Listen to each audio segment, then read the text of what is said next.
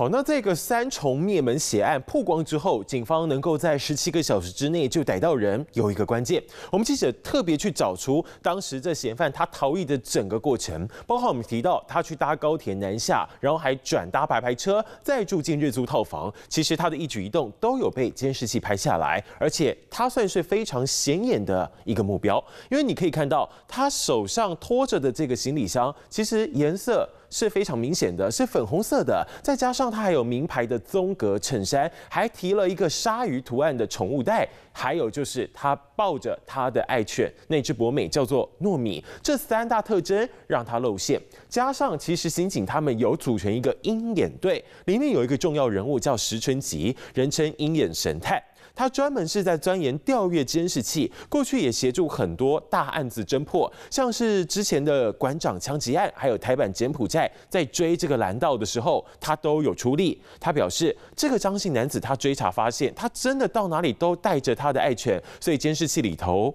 非常显眼。种灭门血案，鹰眼队立大功，连新北市长侯友谊都来亲自颁奖。最重要的人物是他，新北新庄警分局警备队小队长石春吉，人称鹰眼神探，过滤监视器画面，锁定张姓男子行踪，十七小时内迅速逮人。我们的核心价值就是放感情。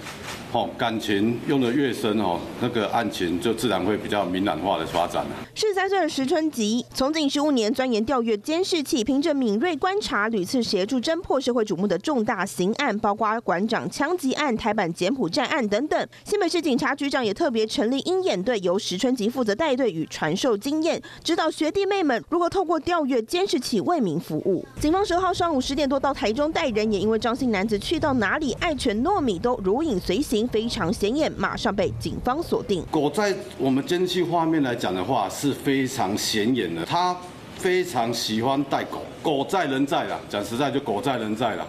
好，说如果听到狗叫声，就增加我们专案小组的信心啦。张姓男子上铐移送，人把糯米紧紧抱在怀里，但这只狗其实是岳母妻子所饲养，即使对他们痛下毒手，但却对狗疼爱有加。逃亡时连狗饲料、狗网都带上，就怕它饿肚子。如今糯米被死者的大女儿带走，也成为家人唯一寄托。华新闻科黄明、陈新慈台北报道。Hello，我是林明瑞，想要抢先掌握最及时的新闻资讯吗？赶快订阅、按赞、开启小铃铛，锁定我们华视新闻的 YouTube 频道。